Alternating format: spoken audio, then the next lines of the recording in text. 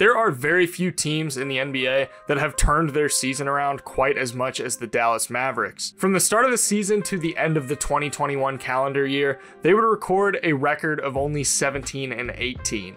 But since the new year has begun, the Mavericks have looked like a completely different team, going 27 and 10 over this stretch of games. There was all sorts of backlash after the Mavericks traded away Kristaps Porzingis in favor of acquiring Spencer Dinwiddie and Davis Bertans.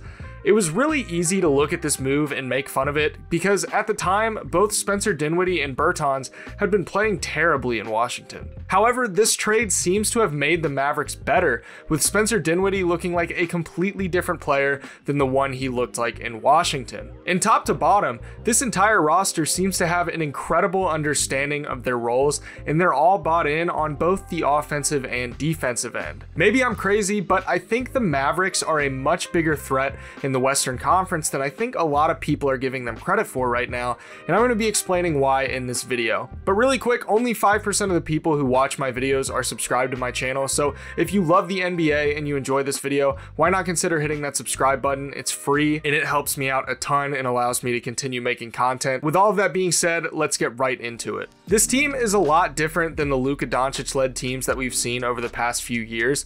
You'd think that a team with Luka Doncic at the helm would hang their hat on their offensive ability, but that's not necessarily the case with this year's Mavericks team. This team has become one of the premier defensive teams in the league since the new year, recording the third best defense in the NBA with a defensive rating of 108.3 points per 100 possessions. Last night in their win against the Timberwolves, some of that defense was on full display. I want you to pay attention to how their defense prepares for the drive on this play. Anthony Edwards is going to get past Bullock. Powell and Brunson do this really interesting thing where they almost move as a line in sync with one another on Edwards' drive. Powell acts as the first line of defense, with Brunson providing supplementary help on the drive. When Edwards kicks it out, Dorian Finney-Smith is there to close out and get a contest on the shot, and it results in a miss. I really like how they guarded the pick and roll last night as well. You're going to see how the Mavericks manipulated the Timberwolves into operating the pick and roll in a way that benefited the Mavericks. Bullock is angling his body to force D'Lo to not even use the screen that Cat is setting, and Powell is playing in drop coverage off of the screen. With Bullock making this left side wall on D'Lo, he can't get an easy open pass to Cat, and Cat is forced to drive in order to get open, and then when D'Lo gets the ball to Towns, Powell has an easy job of just switching his feet and defending the layup to get the block. They completely shut down the pick and roll last night, even though the Timberwolves are one of the best pick and roll teams in the NBA. This isn't a case where they were just matched up well against Minnesota and able to shut down their pick and roll either. They've been doing this to every team all year. The Mavericks are the fifth best team in the NBA at defending the pick and roll, allowing only 0.96 points per possession. The way they utilize Dwight Powell and drop coverage and their willingness to funnel teams into the paint and force them to improvise is one of their biggest strengths. This has massive implications for the playoffs when teams are relegated to half court offenses when the game slows down in the postseason.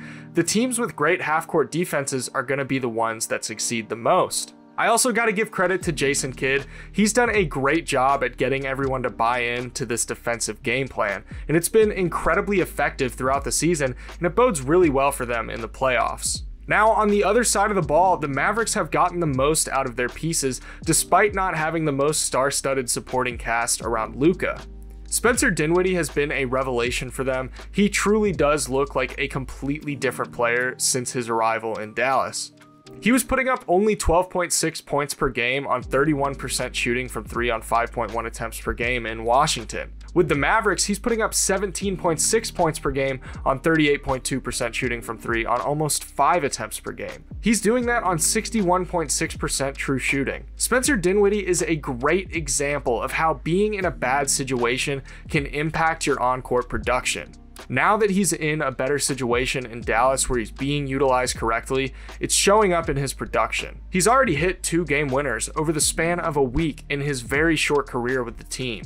I really like this acquisition because he provides them a little bit of height at the guard position. Brunson is awesome, don't get me wrong, but Dinwiddie gives them just a little bit more length on the defensive end and he can operate in some different roles. One thing that I appreciate as well is that Spencer Dinwiddie and Jalen Brunson don't cancel each other out. You can stagger their minutes and even put them on the floor together and allow Luka to rest while still having enough scoring on the floor to help keep you afloat. Also, let's talk about how awesome Dorian Finney-Smith has been. It's time that we start talking about him as one of the top 3 and D guys in the NBA because he's legitimately one of the best. He's one of the only guys in the entire NBA shooting over 40% from both the left corner and the right corner on more than one attempt per game from each spot. This is the perfect player to put into an offense that's so heavy on driving and kicking because he's almost always available in the corner.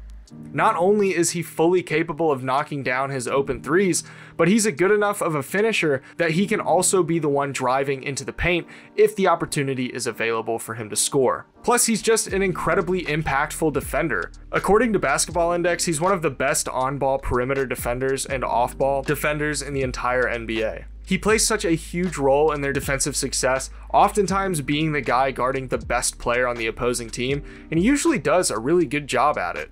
He complements this three point heavy offense that Jason Kidd has constructed, and at the forefront of that offense, of course, is Luka Doncic.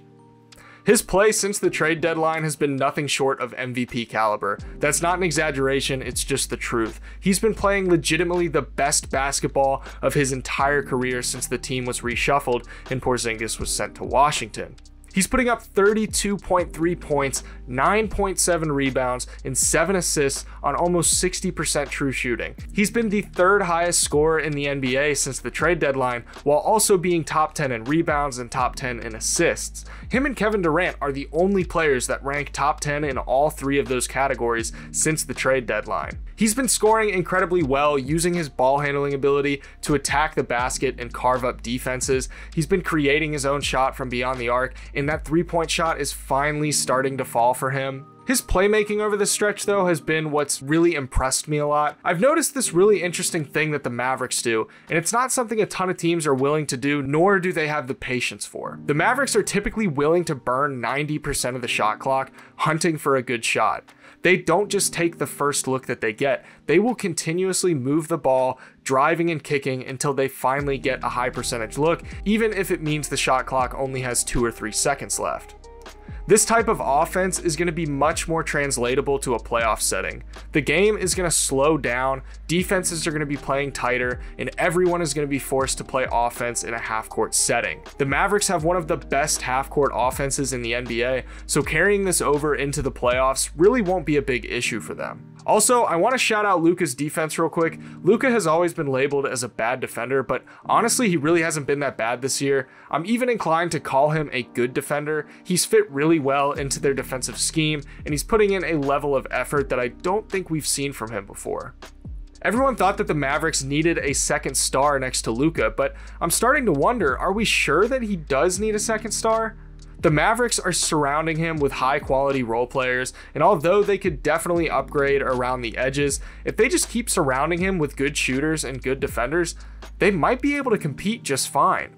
The difference between the Mavericks' heliocentric offense around Luka and heliocentric offenses that we've seen in the past is that they normally sacrifice defense in favor of putting all of your chips in on offense. That's just not the case for the Mavericks. They're looking like an offensively potent team while also playing really, really good defense. Considering how well their defense and offense should carry over to the postseason, I think that they're a bigger threat in the West than people realize.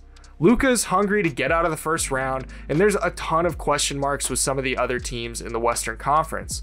They're closing in on a top four seed. They could be a huge problem for any team that they run into in the playoffs. And it wouldn't surprise me one bit if I woke up and saw that the Mavericks were in the Western Conference Finals. Luka is that good, and their team as a whole is that good. So, do you think that the Mavericks are sleepers for the NBA Finals? Be sure to let me know in the comments below. Like I mentioned earlier, only 5% of the people who see my videos are subscribed. So, if you like this video, be sure to subscribe and leave a like.